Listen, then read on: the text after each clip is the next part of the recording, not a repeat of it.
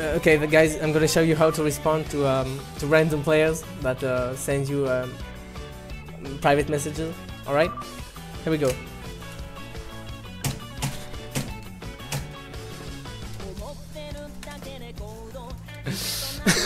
Mon dieu. Oops.